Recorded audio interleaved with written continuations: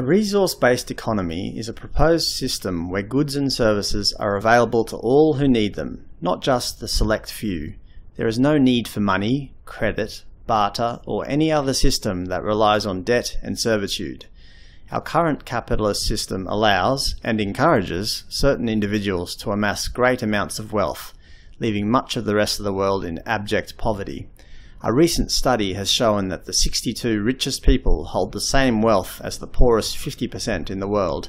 How can anybody morally justify this? Clearly our current system is not working. Sure, many of us in the West now have smartphones, cheap fast food, clothing, and 24-hour shopping, but is this really what we want from society? At what expense does this all come? By now we have all heard of the underpaid and underappreciated workers in Asia who are responsible for producing our clothes, shoes and electronics. They work in hot and crowded factories, barely getting enough money to pay for their family's food, let alone being able to save anything. We might be living it up in the West, but they certainly aren't. Our current system is inherently exploitative. It benefits the few at the expense of the many. Jacque Fresco is an American futurist who has been around for quite a while. He's almost 100 years old.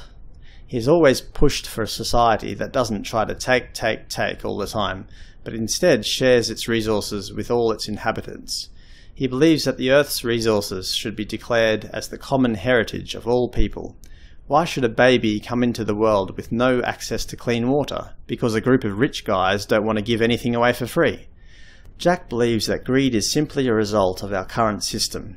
Think of a group of cows in a field that have plentiful grass. They don't go around fighting each other over whose blade of grass is whose. Of course not. There's enough food for all.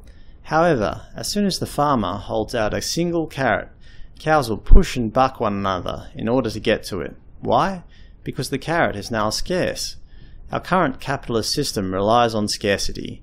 That is, if something is scarce, for example an iPhone 6s Plus, then people will do whatever it takes to get one.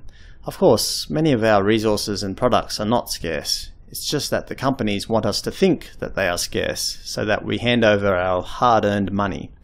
If we knew that we could just use a 3D printer to print ourselves an iPhone, then why would we line up for 10 hours to pay $1,200 for one? Companies use many psychological tricks to make us think their products are scarce so that we freely give them our money. It's a big scam that can be done away with in our future society. Jacque has recently released a film called The Choice is Ours.